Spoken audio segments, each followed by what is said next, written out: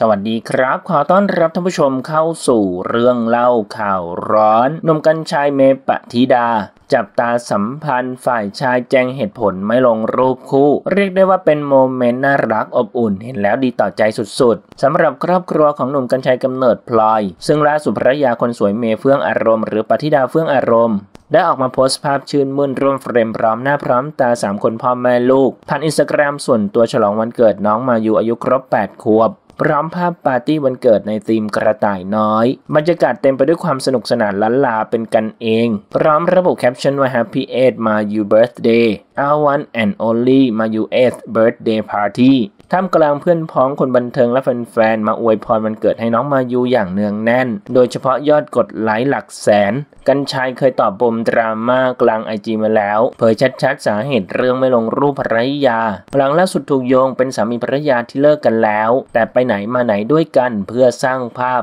โดยเจ้าตัวตอบว่าเรื่องรูปคุณเมย์กับผม และมายูว่าไม่มีร่วมกัน ก็อย่ามาคิดแทนคุณเมย์ว่าต้องทนผมที่ไม่ลงรูปเขานะครับ เพราะถ้าคุณคิดมุกกลับอีกมุม คุณณเมย์อาจจะไม่สะดวกให้ลงรูปเขาตอนนี้ก็ได้ เพราะงั้นอย่าคิดแทนคนอื่นครับท่านผู้ชมนะครับ มีความคิดเห็นอย่างไรกับเรื่องนี้ลองแสดงความคิดเห็นกันเข้ามาดูนะครับ ขอขอบคุณข้อมูลจาก topnewsroom.info ขอบคุณครับ